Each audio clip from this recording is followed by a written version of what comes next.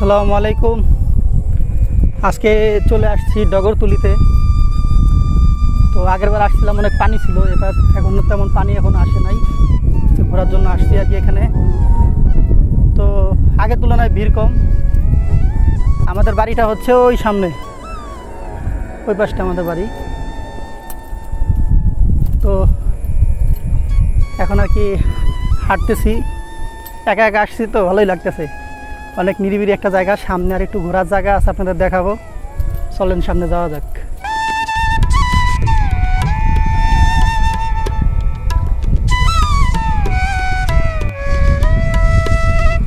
আমাদের বাড়িতে যাওয়ার রাস্তাটা এই পর্যন্ত এসে শেষ হয়েছে।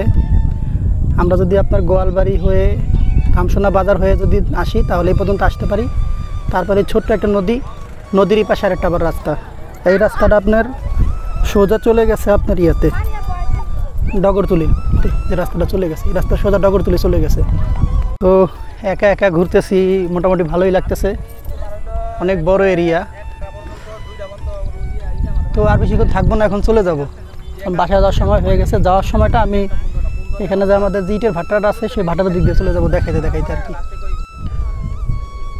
এই সেই ইট ভাটাটি, দেখেন, এখানে অনেক লোক ঘুরতে আসছে। সবাই যার যার মধ্যে ঘুরতেছে। এখানে এখন ইট ভাটার ভিতরে আসি অনেক বড় একটি ইট ভাটা, দেখেন। তো এখন এখান দিয়ে ঘুরে ওই পাশটা যাব, ওই পাশটা যাব সোজা চলে যাব আর কি।